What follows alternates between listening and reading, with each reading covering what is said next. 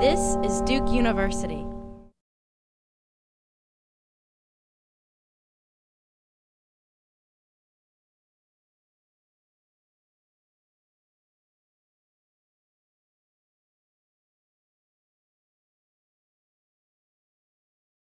Ambition is a good thing. The question is ambition for what?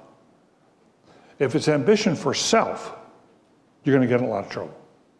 If that's what you really care about, is just getting yourself moved up and up and up and the adulation that comes from power and influence and all the rest, you're going to eventually get into a lot of trouble.